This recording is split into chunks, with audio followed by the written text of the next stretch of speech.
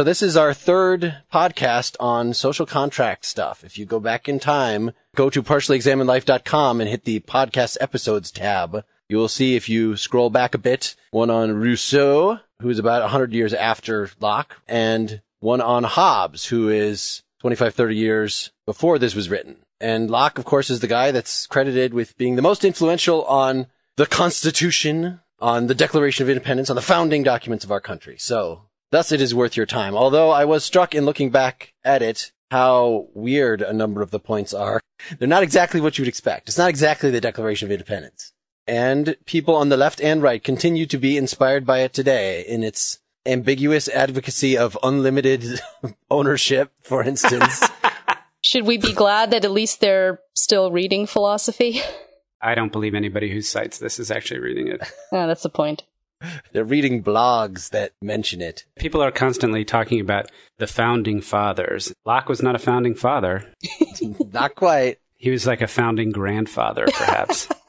ah, so where do we start with this thing? We could say a little bit about just briefly his biography. So this was 1689 again.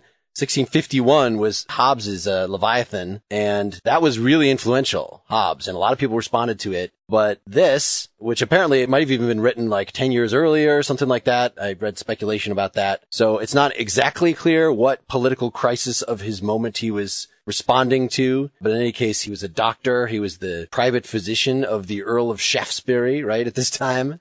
And at one point he got exiled, not for his writing, but just because he was associated with political factions that were out of fashion for a little while, but then he got to go back, so it wasn't so bad. Well, if you're not exiled for what you write, you probably weren't writing something interesting.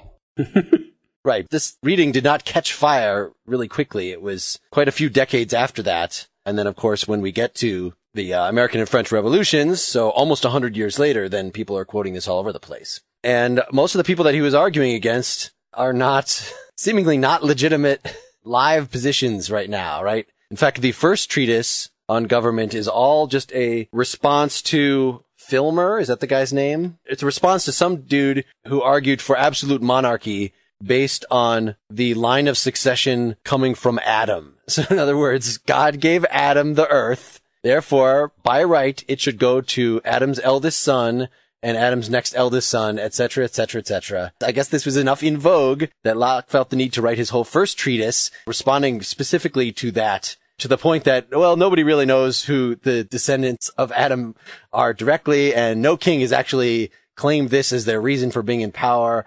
And so really, if you should resist any leader that is not a direct descendant of Adam that you could prove it, then all citizens should resist all governments. So that it's a reductio ad absurdum against that ridiculous view. So the second treatise here is his constructive one where he's looking at the different sources of power, parental power, political power, power of master over slave and just talking about sort of how each of them comes to be and its legitimate sphere of influence. One thing I really liked was how he starts out with that, where he's contesting the idea of the divine right of kings. And all the reasoning that he has in here is his attempt to come up with secular reasons, with human rights based reasons for why we have these laws, why we appoint people to govern us and such. And he'll keep throwing bones where he says, Oh, but we know that God is the creator of everyone and we know that we all have to recognize God. But it's still interesting in how he is trying to develop these more secular reasons. And interestingly, even though this is read in the tradition with Hobbes, it's not even clear that he read Hobbes. He doesn't mention Hobbes anywhere in this. But he does uh, bash on the idea of the monarch quite a bit. Yes, yes. Yeah, and he does actually use the word Leviathan. Yeah. ah, yes. He was certainly aware of it. We just read The Phenomenology of Spirit, where there was no explicit reference to the entire history of philosophy and Western culture, which, but apparently was cited in every sentence implicitly. He helped establish uh, the Royal British Society with uh, Robert Boyle and Isaac Newton. Ah. I mean, he had some pretty exceptional company. So he clearly was extremely well regarded by what can only be counted as the supreme intellects of not just his day, but of our history. So maybe we should start with this foundation for equality. He starts with defining political power. Right. That was the quote. So it's chapter 1.3. Political power, then I take to be a right of making laws with penalties of death, and consequently all less penalties for the regulating and preserving of property, and of employing the force of the community in the execution of such laws and in the defense of the commonwealth from foreign injury, and all this for the public good. Only for the public good. Yes. He talks about property a lot here, but the way that term was used, it was including your own body. So even though he sounds fixated on keeping track of material objects, when he says property, he also means that nobody should have a right over your person. There's a lot to be said about that, but the first thing is he wants to distinguish. He says political power is the power of a magistrate over a subject. And he says this is to be distinguished from a father over children, a husband over wife, master over servant, or lord over slave. Later on, he talks about what the differences are, at least between familial power, patriarchal power, really is what we should call it, and tyranny and so forth. But he's taking great pains to distinguish so that you can't draw an analogy between patriarchal power and political power, which is, I don't know if this is the direction Hobbes went, but there were many political theorists, right, who liken a monarch to the father and this, the yeah. subjects of the state as children and all that. And he's saying what political power is is not the same as what happens in the family. Right. Well, and part of that extended to, to, it's not just a matter of the state can't be as strict as a father could be or something like that, because there's also in there limits on parental power, right? Yeah. Children are not your property. You have an obligation to take care of them, but you don't rule their lives, especially you don't rule their lives once they're grown up. Well, and they're also, and we're kind of jumping ahead, but in order for there to be a basis for political power, it has to be a commonwealth of adults guided by reason, and children are not developed enough to have reason. So they aren't really in the same place as like a citizen in a state. And there's also the key issue of consent, too, that the citizens all get together and they consent to governance while children don't have any sort of consent. That is correct. Right. And if I have my way, they never so will. So are we jumping ahead or going back? no, no. That's okay. I think this is a good place as a way of summarizing in contrast to Hobbes. So Hobbes had this idea the state of nature is very nasty and we will do anything to escape the state of nature where everybody is just constantly coming and kicking us in the head and taking our stuff and killing us. And so we all implicitly, at least, consent to have somebody in charge. So there's somebody we can appeal to who will get rid of all this nastiness. And that's why we have a state. And given how bad the state of nature is, really, however bad the leader is, it's better than the state of nature. So the monarch, in fact, is not even a party. He's not one of the people who signs the contract, the social contract that ends this. He's just somebody who gets put in place by the individual citizens who sign with each other to say, oh, let's just give power to somebody because this is just intolerable. And Locke makes a clear distinction that in that sort of nasty, brutish, and short world, there's a combination of a state of nature and a state of war. In a regular state of nature, there isn't that sort of desire to stop being kicked in the head. I'm not sure that ultimately that distinction makes a whole lot of difference. I'm not convinced of that yet, but we'll get to that. What is the state of nature for Locke? He says the state of nature is a state of perfect freedom of action within the bounds of the law of nature. It's a state of equality. And he says it's a state of liberty, but not of license. So, for example, you do not have the liberty to destroy yourself, nor do you have the liberty to destroy for example, a creature that's in your possession, if its death is not needed, like if you're not going to eat it, you can't just go around killing your cats and things like that just for the hell of it. And that's because there is a law in the state of nature, and that law is reason. Well, but he also talks about it as God's law. And I guess that's the big question that sometimes he sounds like a divine command theorist that this is the law because God says so. But at the same time, he very often refers to reason that this is something that anybody should be able to find out, that he distinguishes that from divine commands received from revelation, which of course only the chosen people late in history who the Bible was revealed to are going to know those things. So while certainly there are going to be God's commands over and above those given by reason that anybody could figure out, none of what reason is going to tell us is going to contradict those more detailed divine commands. So, just out of curiosity, is the prohibition against self destruction divine, or does that come from reason? It's divine. We are the creations of God, and so to destroy ourselves is basically to disrespect God. Okay. And we're God's property at God's whim. Okay. Right. And God gave everything to us to make use of. So I, even though I'd like to say you don't need to refer explicitly to God, it's just basic fairness and something like Kant's principles getting from reason. I don't see the details in that. However, of course, Kant argued against suicide. Well, and that's a big question. Are you allowed to commit suicide or not? And I see him using the God based arguments here more to kind of bring in a sense of humility that yes, we have a lot of power. Yes, we can do all of these things, but there's a limit to that. And we need to stop and recognize there's something bigger than us. May I read a quote? Please. Being all equal and independent, no one ought to harm another in his life, health, liberty, or possessions. For men being all the workmanship of one omnipotent and infinitely wise Maker, all the servants of one sovereign master, sent into this world by his order and about his business, they are his property. Sabrina, there's your point. Whose mm-hmm. workmanship they are, made to last during his, not another's pleasure. And being furnished with like faculties, sharing all in one community of nature, there cannot be supposed any such subordination among us that may authorize us to destroy one another, as if we were made for another's uses, as the inferior ranks of creatures are for ours. Everyone, as he is bound to preserve himself and not to quit his station wilfully, so by the like reason, when his own preservation comes not in competition, ought, as much as he can, to preserve the rest of mankind, and may not, unless it be to do justice on an offender, take away or impair the life, or what tends to the preservation of life, liberty, health, limb, or the goods of another. So there you go. That's the state of nature.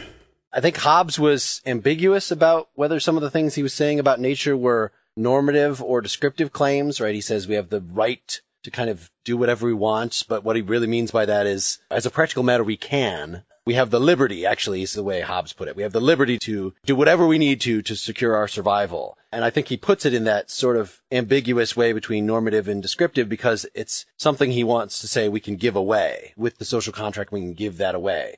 But with Locke here, it's just normative right from the start. It's more like the state of nature lays out some basic ground rules that still have to be obeyed later on, even when you set up a community or a society. Right, with the exception of the retribution, right? We have the right in the state of nature to extract justice. Well, that's the thing is that yes, every man has a right to enforce the law of nature and punish offenders. Yes. And that's what we give up. Yes. But that's not a, the idea that offenders can be punished and that the law of nature needs to be enforced. That I see as kind of the ground rule. And then the derivative from that is that if you're wandering around in the state of nature, then you have that right to be the executor of that law. But then later on, you pass that job on to somebody else. You're saying, oh, I've got too much to worry about. I want to grow my crops and raise my family, so I don't want to have to go out and keep enforcing this law. I want to have a policeman do it, or I want to have a magistrate do it. So that's mm-hmm. one of the advantages of entering into the social contract. The other of which is the fact that this state of nature easily dissolves into the state of war that you were mentioning. In other words, as soon as somebody violates and takes something that somebody else's, then it's a state of war, which Hobbes would say, well, that pretty much happens immediately. There's no point in worrying about this state of nature prior to that. Locke is talking about how the state of war in a state of nature will basically keep continuing until uh, peace is offered or I think somebody is killed. But in a society that each side goes to a magistrate and they submit to judgment. So basically a state of war can end more quickly and more cleanly if there's a society. Mm. What was your objection, Seth, that you think that this is not a useful distinction? There's a motivation of some sort to exit the state of nature and get into civil society whether it's because the state of nature devolves into a state of war or whether the state of nature is a state of war doesn't seem to me ultimately to make that much of a difference. If the end result is the same, there's a section later on where it sounds like he says almost exactly what Hobbes says about the state of nature. Here he says, I easily grant that civil government is the proper remedy for the inconveniences of the state of nature, which must certainly be great, where men may be judges in their own case since it's easy to be imagined that he who was so unjust as to do his brother an injury will scarce be so just as to condemn himself for it. You know, where Hobbes, and we had a big argument about this that I think I never relented on when we did the Hobbes episode. And Sabrina, maybe you can adjudicate, but I was certainly arguing with Wes that my perception of what Hobbes said was that in the state of nature, individuals enter into a contract with one another, like an agreement, like you watch my back, I'll watch yours. But since ultimately you can never guarantee that those agreements will be enforced without an external power, that you mutually agree to assign the power to enforce the contract to somebody else. It sounds like Locke's saying something here that's not quite as strong, which is basically not so much that we need somebody to enforce the contracts that we enter into with each other, but rather the sort of implicit law that already exists needs to be enforced. And we can't guarantee that its enforcement will be consistent and balanced and fair in the state of nature. Mm. I'll buy that. And you know, he doesn't need the, we could enter into any kind of contract we want with each other because really the dictates of fair contracts and fair contracts are the only ones that we would knowledgeably enter into. So even if I say, Oh, I'll work for you for nothing. I'll be your intern for, you know, Oh, wait. If, if, that's not ultimately in my interest, then maybe I was just incompetent to make that contract or something. In, in, any case, you could imagine if the idea was to enforce some basic rules of fairness, then if the government detects some unfairness, it could just jump in and adjudicate it otherwise, whatever contracts you've agreed to. The reason why I think this distinction is important, and I, am reading it this way, is that he has that section right in that same area where he says, if we can't guarantee in the state of nature that any one individual will execute or enforce the law fairly, then we also can't expect that an absolute monarch, that is to say, the state embodied in a single individual, mm-hmm will not exercise the same poor judgment. And that, that's why absolute monarchies are absolutely the wrong way to go about doing civil society. And that's what I thought was his counterpoint to Hobbes. Right.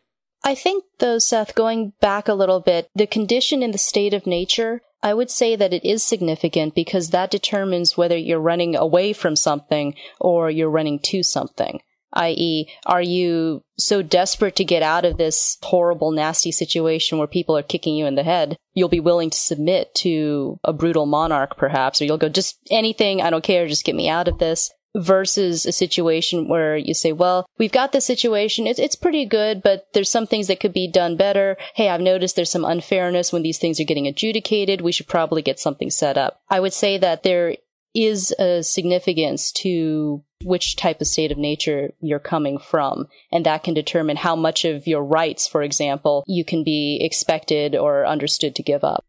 That's fair.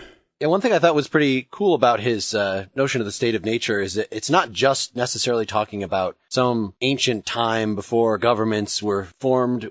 Just any time there's not an adjudicating power, then you're in the state of nature. So different nations are in a state of nature with each other, he says. And he talks about the uh, Swiss and the Indian in the woods of America, right? And two men on a desert island.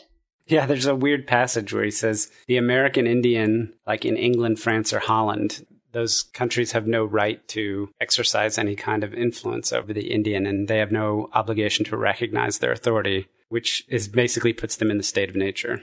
So until we have the one world government ruled by spirit, the end of history, we're kind of stuck. But that at least makes it sound like the state of nature is not so bad. That, you know, it can create problems if a foreigner comes to your country and disses your laws and like, well, how do you adjudicate that? Is it by your laws or by their laws or there are issues to work out? And certainly the state of nature then can turn into a state of war. And I think when you're thinking about it between nations, like, well, that's an obvious difference? Are the two countries at war or not? The big revolutionary thing about this is, of course, just the idea of government for and by the people. Well, maybe not by government for the people. government has to be representative of the people. And that's the big advantage out of this. But on almost every other social point, he comes down with the status quo for his society. So even though it sounds like slavery should not be allowed, apparently if you're in a war with another country, and that other country surrenders, then at least the people who are actually fighting you, not their families, not their kids, but the actual soldiers, you can just take them and keep them as slaves. I mean, what you're in fact doing with that is perpetuating the state of war. It's not like you have a contract with your slaves because they're just there as your possessions. I don't know. He didn't get into details then. But about- actually, no. I thought he clarified that you get to take those people who fought against you in that war. You get to take them as slaves, but you basically make them work and you get to take back from the labor that they create enough to compensate you for the cost of the war that, that you spent. And then I guess after that, you're supposed to let them go. So it's a very gentlemanly sort of slavery. Yeah, if we're going to talk about that, we should probably make that clear distinction between state of war and state of nature and how that all relates to slavery, since this is the big contending point. For the listeners, Mark had mentioned that Locke had worked for Lord Ashley, who was also what the Earl of the Earl of Shaftesbury, the Earl of Shaftesbury, the Duke of Sandwich. This lord was responsible for setting up something called the Board of Trade and Plantations and was part of the Lords Proprietors of the Carolinas, as in the American Carolinas. And Locke was the secretary of both of those organizations. And so he was very much aware of what was going on with the slave trade and plantation system. And there were apparently a number of British citizens in Barbados who wanted to emigrate to the Americas and bring their slaves. And there's a whole bunch of stuff surrounding that. But Locke says, and I actually thought this was fairly unambiguous, but I guess people are looking at his involvement in that organization and not so much what he wrote philosophically, that the state of war is a declaration or a design to either take somebody else's life, possessions, or to make somebody else a slave, mm-hmm. as opposed yeah. to just living alongside each other without that intention which would be the state of nature. I guess you can put it in terms of the state of war involves intent to kill, steal, or enslave, whereas the state of nature doesn't involve that. Well, right. The person who starts the war, right. The person who starts the, the war, right. And so if you enter into a state of war with somebody, then what changes from the state of nature? You're forfeiting your life. Whereas in a normal society, if somebody accosts you on the road and is trying to steal your stuff, you can shoot them, right? Because there is no way it was an immediate danger. It's self-defense. But if they go in your house and lock you out and say, it's mine now, ha ha, you can't just go shoot them. You have to appeal to the magistrate. So that's in a state. So justice should ideally only be to the extent it should be eye for an eye, maximally. Whereas if there is no one to appeal to, then you're authorized to do whatever you need to. And this sounds very much like Hobbes to prevent, you know, once a person enters into a state of war, say by stealing your goat, you can just go and kill them because how do you know that they're not going to steal more? How do you, once they've shown themselves to be untrustworthy, there is no magistrate to appeal to. There's no way to end this war unless they apologize and give you back your goat or equivalent restitution or they die. And that's essentially what's happening. You know, if I take the French army and attack England, then me and all the other Frenchmen that are fighting there, our lives are forfeit because we're the aggressors and it's the same thing. There's no UN or whatever that can decide this dispute and can say, smack down on you, France. Not only, you know, you have to give up this and this and this. And so unless France then surrenders and sort of throws themselves on the mercy, but in any case, even if they do that, it seems that England would have the right to take all of the fighters as slaves to just prevent them from doing anything like that in the future. And on top of that, you could go to France and seemingly take enough of their possessions to make up for the damage that they did, but no more. And you can't take even as much as the damage they did if that would make all the French children starve. Right. You have right. to give them an installment plan. You have to offer terms that they Someone could live think with. of the children. There uh, seems to be a temporal distinction too. That if there's a robbery attempt in progress, then you can do all of these things to protect yourself. And right. similarly, later on, when he talks about the state of uh, slavery, that if someone is trying to enslave you, then you can kick and fight and scream and try to kill the person. And yet, if you are already a slave, he doesn't really seem to say much about it, which I almost read as an implication of, well, you had your chance and you lost, so now you got to suck up and put up with it. I don't know about that. I mean, there is a section where he says, you can never. You don't make a deal with slaves. You can't sign your life over to somebody. Well, not only can you not sign your life over, but you're constantly in the state of war, even in master and slave relationship. Mm-hmm. So right. it's not like you become a slave and then suddenly you're obligated to follow direction. You have every right to go after the master by any means necessary whenever you want to. I think it, it's not even that it's right for you to do that. It's just that right, the criterion does not apply. And this sounds very Hobbesian, right? Because mm-hmm. for Hobbes, there is no normativity outside of a government telling you what to do. So if you're in the state of nature with somebody, then there is no right or wrong. That's the way I interpret it in this mm-hmm. case. Now, it still seems like the law of nature, God's law, applies to everyone. That would apply to slaves too, right? If you put your life in forfeit and are taken in a war, again, so it was a just war by the uh, person who took you as a slave, then there's something fitting if you're going to really strictly go with the law of nature, then you kind of take what you can get, right? Whereas if you're a slave under other circumstances, there's no way you could be bound by the law of nature like that. Like you were saying, you have the right to defend yourself in any way. Well, true, but he conveniently doesn't think about the slaves that were taken to America, for example. They were pretty much minding their own business in Africa and then they were taken. They didn't go try to invade England or the American colonies. So I just don't see any discussion of that sort of circumstance. Sounded like you read something about this, Seth. What I read about was uh, on the Wikipedia page and on the Stanford Encyclopedia page was about people were looking at the philosophical work and trying to reconcile it with his work as a secretary of these two organizations because he helped draft the Constitution of the Carolinas. Mm, that allowed slaves, yep. That allowed slaves. And so people are trying to figure out exactly what he wrote, what he approved, what he amended, what he didn't, et cetera, et cetera. And there are people that say one of two things. Either he was a coward and he didn't put into practice what he wrote about philosophically, or he was a hypocrite and he was a racist and a pro slavery, but he philosophically was against it. And what I'm saying is, reading this text, it seems to me fairly unambiguous that from a natural rights slash political power perspective, slavery is never justified unless you are the conquered on the unjust side of a, yes, war. Right. You have to have started a war and be unjust. And then when you get conquered and you get enslaved, it's entirely appropriate. Yep. And that's the only circumstance. And apparently some people have tried to read then that somehow the African slaves who came to the United States had engaged in such an unjust war, et cetera, et cetera. And this is apparently the big bone of contention with Locke as far as this topic is concerned.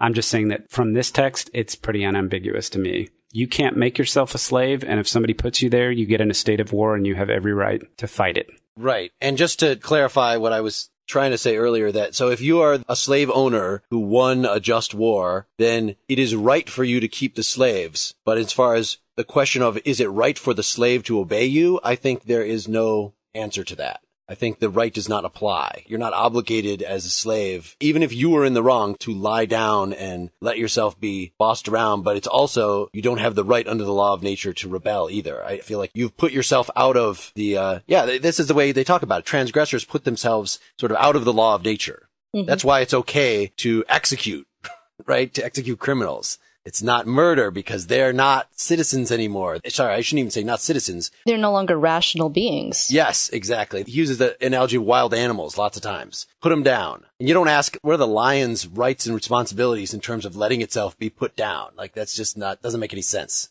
So maybe he's just a huge racist and thinks that people from Africa just are more like wild animals. And so you can just treat them however, uh, you know, you can't just kill them willy nilly if they're like your property, your pets or something, but you certainly don't have to give them freedom. Maybe. I don't know. He doesn't talk about that specifically here. Yeah. Well, I don't want to belabor the point. Yeah. yeah. I just thought that he conveniently didn't talk about it. which is pretty consistent for the issue of slavery in, in, America when they talk about all men are equal and, and all of that, that they kind of walk away and pretend that the American slavery issue doesn't exist or they try to find a way to explain it away. Yeah. Well, since we're on the topic, what about we brought up children? What about women? We had the uh, husband's right over his wife. That was really interesting because he's talking about paternal power and then he stops to muse, well, actually, I don't mean paternal. I really mean parental. And then he goes on this really interesting thought process about how a husband's right shouldn't necessarily outweigh a wife's and, and how a mother yeah. could take care of children. And when I read that, I thought, oh, that's really interesting. I wonder what feminist thinkers think about this. So I looked it up. And there seemed to be a lot of feminists who really took issue with him for various reasons. And I was kind of surprised at how hostile some were to Locke. And then there were some people who were critiquing that position saying, no, actually he was being pretty aware of, of women's rights. The fact that he said every person has a right to their body, the implication there is that a woman has a right to her own body. And he recognizes that a woman who brings property to a marriage, that property is hers. And that's pretty progressive for his time. Yeah, it does seem like he's, I mean, just like the liberal point about the parents' right over the children. It's not so much that parents have dominion over their children, it's just that they have responsibility to care for them. And the kid, before he or she is of age, well, again, the issue of rights doesn't even really occur because the child is pre-rational. They can't exactly make rational decisions. Very, very Kantian view. So you can't really have rights unless you can make rational decisions. But at the same time, other people can still have duties regarding you on similar grounds why you can't just kill your livestock and kill your pets and things like that. But sort of above and beyond that, like you were saying, there's parental, not just fatherly, but motherly responsibilities to guide the minors until they are of age. And then there's a debt of gratitude that is owed by the kids throughout their life to their parents. But that seems, it's not you have to obey them in everything that they ask you to do. It's just a matter that you should respect them, right? Honor thy father and mother. That doesn't mean mm-hmm. that they get to choose your spouses for you and choose your jobs and whatever. And so the same way with women, he said, oh, well, naturally in a family unit, at least typically, the man would sort of be the more competent to rule the family. So yeah, you know, the woman would want to do what he says. And so the family would want to do what they say, but there seem to be limits on that. Like yeah, it's, it's, a much softer position because even when he's talking about in the state of nature, all men are equal, he says, but some are more equal than others. Some are, have a little more ability. Some are a little bit better. So he recognizes this general continuum that some people are just better at stuff than others. So in this case, he says, eh, men tend to be a little better than women at some of these things. So we'll probably see this, but that doesn't mean that the woman doesn't have rights and she doesn't have things that are hers. So he made a pretty clear delineation there. So can we, let's talk more about property because this is the kind of weirdest part in, in his whole thing. I mean, I already mentioned, yes, okay, by property, he doesn't just mean stuff. He means your person, but he has a lot of talk about, well, starting with land, right? Actually, he doesn't start with land. Start with acorns? That's right. So, this is actually, I think, an absolutely fundamental and brilliant contribution to human society. So, he talks about God's commandment that God gave the earth to human beings and the fruits thereof, et cetera, et cetera, but also the commandment to improve it. And he says that this is section 27 you have property over your person, therefore, you have property over the labor of your body. And if you take something out of the state of nature and mix your labor with it, then you, you basically have property over that. So he sets the groundwork by saying, imagine this, the sort of original state of nature or what have you, and you just have the entire earth and it's in common for everybody. And everything just kind of either grows from the ground or falls off a tree or swims in a river or whatever and you have a perfect right to go and go fishing or gathering or hunting or whatever the case may be. And even though you, Sabrina, Seth, and Mark all kind of share in common, let's say the deer in the forest, if I go hunting and I kill a deer for dinner, the fact that I have used my labor to hunt and kill the deer makes that deer mine and you have to respect my property there. Now, prior to me killing it, it was the common property of all, if you will, or uh, we don't want to use the term property because property doesn't apply, but it was common to all. And he also he comes from the assumption that there's plentiful resources. And so, yeah. Seth, if, yes, if you, if you go and kill a deer, then that's no problem because there's plenty more deer where that came from. So Mark and I won't go hungry. That's right. He does talk a lot about how it's great that we're still in this position where there's all this land available and people haven't come crowded up against each other. there's huge tracts of land. That's right. Well, but he's talking about in the state of nature. He's not talking about Europe at the time. No, but he does yeah. mention America as being like that. Like, America is just the wonderful, amazing place. Like you can go to yeah. America and you can still just go take whatever you want because it's common to all and just mix your labor with it. In the beginning, all the world was America. That's right. What doth Locke say about dibs? can I call dibs? What? It just makes me want to when he gives go a formulation a like this.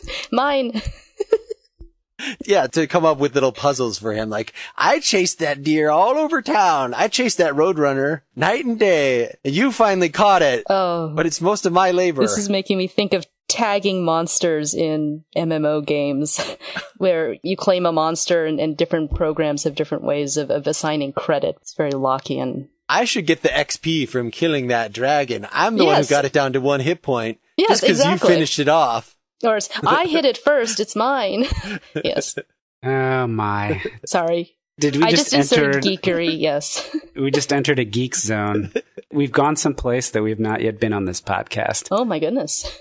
Mark is a geek, and I'm a former geek, but I don't think Wes. Wes is like an iPod, iPad kind of geek, not an MMO or MMORPG kind uh, of geek. I've actually never played it. I played uh, when they were just text when I was in Austin, I spent a, a week Muds? or so on a mud. Oh. On, but I have not done the high tech versions of that. Ah. Not out of any moral qualm. I just haven't. Let me just give a kind of a quick summary and mm-hmm. you guys tell me where I'm missing something. So you have the entire earth with all these things in common. If you mix your labor with something, it becomes your property in the way that there's that chain of trust, if you will, from ownership of your body to ownership of your labor to mixing your labor that gives you ownership of a thing. And initially we talk about things like fish, deer, acorns, and so forth.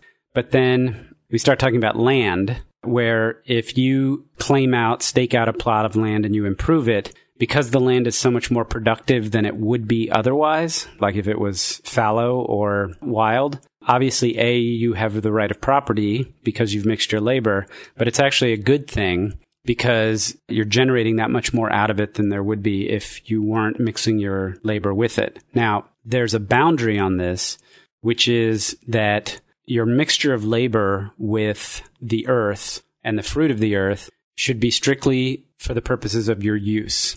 So you're only supposed to take as many acorns as you can eat before they rot or plums, I think is another thing that he mentions. And if you end up with an abundance of these things, or if you start farming and you generate more food than you can eat and it goes to waste and it rots, then you're violating the law of nature. But if you can trade what you generate or collect or what have you to somebody else who needs it, who will use it, and they give you something in exchange which is more durable, or which at least lasts long enough for you to either use or trade it, then that's okay. And what we end up with is the concept of money, because money is essentially the most durable item because it, of course, never rots like actual goods or services for that matter. Yep. And I like this passage to put nature lovers into fits. This is from number 40. I think it will be but a modest computation to say that of the products of the earth useful to the life of man, nine tenths are the effect of labor. If we will rightly estimate things as they come to our use and cast up the several expenses about them, what in them is purely owing to nature and what to labor, we shall find that in most of them, 99 out of 100 are wholly to be put on account of labor. And, and even oh. just refers to land that's not cultivated as just waste. It's Yep. just waste. Not an ecologist. But that goes with the God gave us everything. He gave us these animals for our use. We can eat them as much as we want. well, wouldn't you rather have bread more than acorns and wine rather than water? Yeah, I'm not sure I can disagree with this. I mean, that's why we have nature preserves and like things like aquariums. we just want a little small corner. See, even that is even that is mixing our labor. Nature is better when we mix our labor with it by creating zoos and aquariums and such. Oh, At least you should tag all the wild animals. oh no. At the very least, we should say dibs. We should sponsor them. I sponsor Orca, a whale in the wild. I don't But have aren't to they do thinking anything. of giving giving uh, dolphins and primates rights now? So we can't own them. We can only make them work for us or something. Only if we beat them in a just war. Yes. so, so they they have to pick up a fight with us first. Oh my god, that is totally the next. That has got to be a book. Those fucking dolphins coming onto dol- my lawn, Dolphin jihad. taking my tuna. Oh They god, asked for it. That would be totally awesome. But yes, so you've got all of these things that you are gaining as your property. You're picking acorns, you're you're picking apples, you're improving the land, and all that great food will go bad eventually. So you have to trade it for something that won't go bad. And so that's where we got the idea of currency. Gold, silver, and diamonds. But it's just funny that this starts with something that a Marxist would be very excited about, this labor theory of value. Yeah, that's what I was thinking when I was reading this. Is Or an environmental, you know, that Thoreau lover type. Whatever you make with your hands, that's yours. And that's, and don't take more than, you know, than you can make use of. Oh, but then it's okay to do that. And you're within your rights to do that. You're also within your rights to trade for money just because everybody happens to have agreed that money is valuable. It's completely irrational why gold should be valuable in itself, why that thing was picked other than it's just more durable. But since everybody happens to agree on that, then it's okay to trade for that. No harm, no foul. Even if we don't even have a government yet, right? It's just if people agree to it, that seems to be apart from what some government should say. Oh, this is money. Even in the state of nature, you can have legitimate trading. As long as the way you got the goods is legitimate, then it's okay for you to have them, even if they grow to disgusting amounts, as long as you're not wasting them, whatever that That's means. right. Mhm. the big question though is would you give your nuts for a piece of metal if you were pleased by its color? that is, He says it's se- end of section 46. Again, if, Oh, I remember, yes. yes. well, I guess it depends on whether or not I believe the person who was giving me the pleasing colored piece of metal was actually going to use the nuts Five extra or nuts. if they were going to go to waste. I think nuts have a pretty long shelf life, though, so they probably won't go to waste very quickly. Not as long as you think. I'm going to sum up and take us into civil society here. So, Awesome. in section 63, the freedom then of man and liberty of acting according to his own will is grounded on his having reason, which is able to instruct him in that law he is to govern himself by and to make him know how far he is left to the freedom of his own will. To turn him loose to an unrestrained liberty before he has reason to guide him is not the allowing him the privilege of his nature to be free, but to thrust him out amongst brutes and abandon him to a state of wretched as much as beneath that of a man as theirs. This is all about children and so forth. But the bottom line is we, as creatures of reason, given this law of nature, which I guess we can call God's law, take our rightful place in mixing our labor with the earth and the fruit of the earth to create property and eventually durability. And that is essentially the nature of the state of nature. It's the a characterization. it is the characterization of the state of nature. And somehow all this can be discussed as being done prior to the establishment of civil society. Yeah. But at some point we have to. Well, and in the same way, even it sounds ridiculous that money would exist before civil society. Well, you know, how did different governments trade with each other? There's no master currency. I mean, now there's the exchanges that determine the rates, but at the time he was writing. And just to kind of throw one back at the anti ecologist, he does say things should not go to waste. There has to be an outlet for the consumption of all of these goods. Insofar as we live in a consumer society that produces far more than can possibly be consumed or that is healthy to consume, we would be violating that principle. Doesn't he also say somewhere in the state of nature that we have the responsibility to help each other, or does he not say that? In other words, if you have extra nuts, you should give them away. Mm, I think he gives uh, several ways that you can avoid being a wasteful jerk, and one of them is to be charitable and give it to someone else who needs them. That's optional, right? Yeah. Yeah, he says if you waste it, then then you suck. But here's some options that you have, so you're not being wasteful. So you're not obligated to, but that's one of the things you could do.